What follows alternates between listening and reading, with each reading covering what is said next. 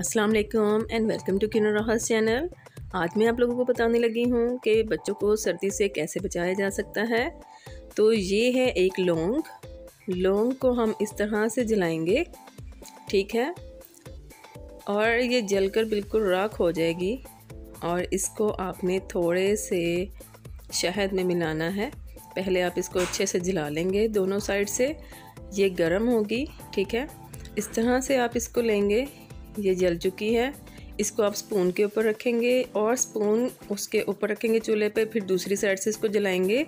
और साथ ही थोड़ा सा शहद में इसको पीस कर आप बच्चों को देंगे। ये देखें मेरी बेटी, कैसे मुँह खोल रही है अब खाने के लिए। ठीक है? तो मैं इसको देने लगी हूँ। और हमारे बच्चे माशाल्लाह बहुत शौक़ से खाते हैं ये। और ये सर्दी में बहुत अच्छा ये एक नुस्खा है, बहुत अच्छी टिप है बच्चों और बड़ों के लिए। बच्चों को पीस कर देते हैं क्योंकि वो ऐसे नहीं खा सकते और बड़े ऐसे ही खा सकते हैं इसको। ठीक है thanks for watching my video अल्लाह हाफिज़।